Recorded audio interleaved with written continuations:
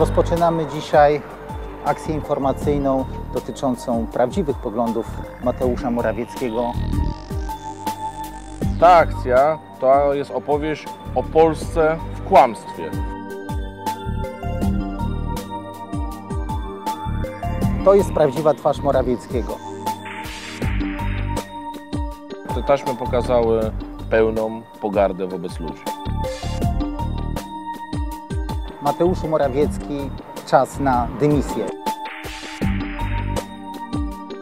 Nie pozwolimy na to, aby taki człowiek dłużej był premierem. bo to jest wielki wstyd, żeby taka osoba była jedną z najważniejszych osób piastujących w zasadzie de facto najważniejszą funkcję w państwie.